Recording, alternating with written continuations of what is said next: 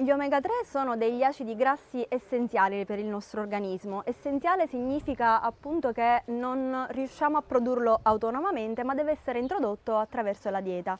Eh, hanno molteplici attività sul nostro organismo, in particolare fondamentale è l'attività cardiovascolare e cardioprotettiva, proprio perché gli omega 3 consentono di ridurre i livelli di trigliceridi e di colesterolo cattivo, ovvero l'LDL, e aumentare invece l'HDL.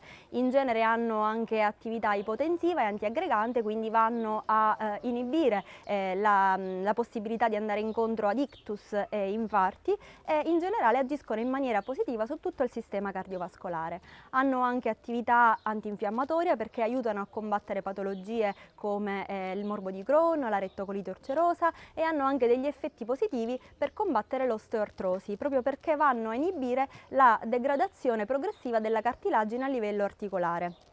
Hanno anche un'attività neuroprotettiva perché aiutano a prevenire patologie neurodegenerative come l'Alzheimer, eh, come l'aterosclerosi e ehm, in generale intervengono anche nella formazione del tessuto nervoso a livello fetale, quindi è importante che anche le gestanti vadano a tenere sotto controllo questi livelli ed eventualmente integrare sia con l'alimentazione che con integratori appropriati.